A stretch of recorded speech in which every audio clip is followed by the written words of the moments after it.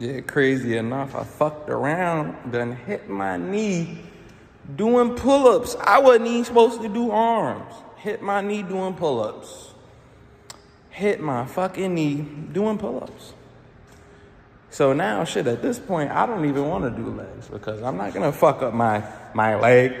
Why? To get stronger? Nah, I'm good on that. I take my my fucked up knee take my ass back to the crib. So that's what I am looking to be about to do. But hey, that was my that was my workout for the night. Well, for the morning, I guess, because now it is uh, almost four, four, quarter to five. It's almost a quarter to five, so you know. But yeah, nah, definitely right how y'all feel about that Jontay Porter shit. You know, comment section, man. That shit is crazy to me, man. Like, tons of dudes just like me, you know. They not even six feet. Shout out to Chris Paul. Damn shame he left Phoenix. We ain't never been the fucking same. Oh my God. Whew. But yeah, nah. Yeah, nah, man. I'm fucking five feet eleven. Shit. Jontay Porter might play in the NBA. But I more than likely will never get to see even a day of being in the G League. Sadly.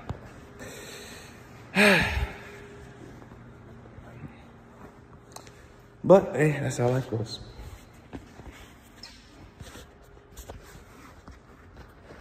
Shit, I don't even know what I'm about to do back at the crib. I'm really just fucking mad as shit right now. I literally busted my knee. Wasn't even supposed to do them. Do arms. I wanted to keep my legs nice and fresh. And boom, I busted. I busted my knee up. Just like that. Just like fucking that. fucking 25. Just turned 26.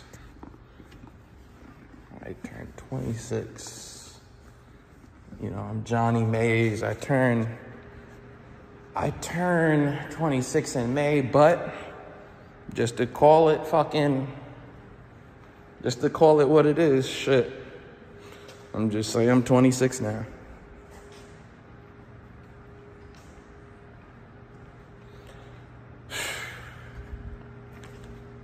I'm gonna see if I could fucking get this left knee off. Get it to feel good. Just try to see if I can walk on it slightly, not harshly. Fucking re-aggravate a knee.